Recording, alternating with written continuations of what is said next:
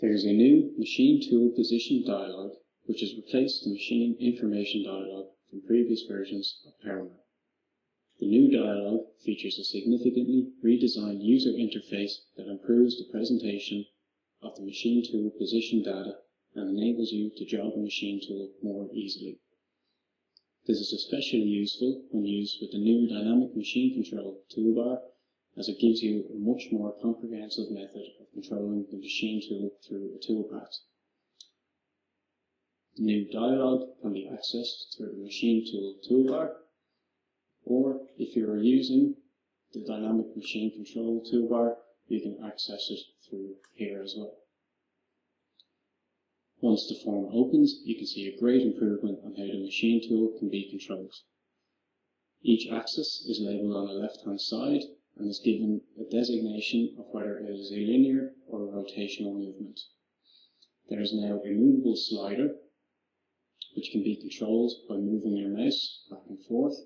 Alternatively, you can also use the scroll wheel of the mouse, and as in previous versions, you can use the left and right arrows of the keyboard to control the movement.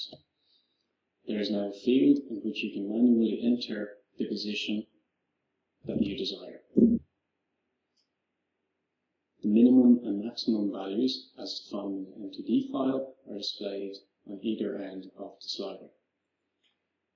If you enter a position which exceeds the limits of the machine tool, a warning will, be displayed like so. If the range of the slider is not large enough to jog the axis to its minimum or maximum in one go, you can simply drag the thumb to the end of the slider, and PowerMill will then display the remaining range up to the limit.